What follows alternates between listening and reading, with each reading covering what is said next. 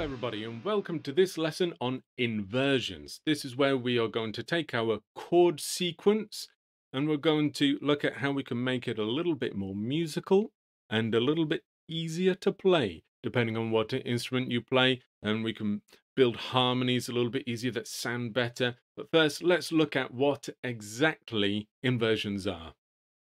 So there are th three different ways, primarily, that a triad can be played. In root position, which is where the root note is at the bottom, the third is above, the fifth is on top. This is how we notated the chords in our chord sequence in the previous lesson. Just standard. This is how you begin to notate it. After you've got all the chords down, then you can start messing about with inversions.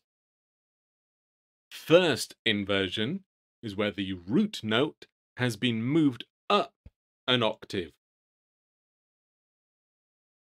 C major, second inversion, is where the third as well as the root note has been moved up an octave.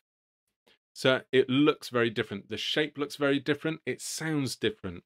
And it makes even more sense when chords are combined together in a chord sequence, as we will see eh, and hear in a minute.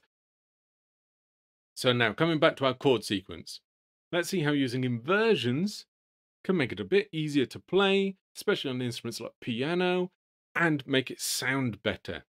This is our original chord sequence, right? We've got C major, F major, G major, C major, root position. So by starting off with the first C major chord in first inversion, the C note, the root note, is going to be played at the same pitch in both C major and F major because the note C is in both C major and F major. As you can see, it's the same note. Then by ending the chord sequence with C major in second inversion, the G note, as the arrow is pointing to, check it out, it will be played at the same pitch in the final C major chord. By using these inversions, it's easier to play and sounds better.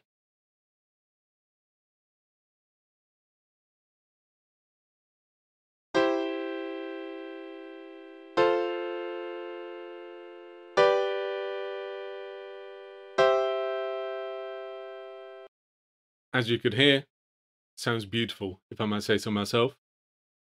Join me in the next lesson where we are going to go even further. We're going to look at passing chords and how they can be used to even further enhance chord sequences.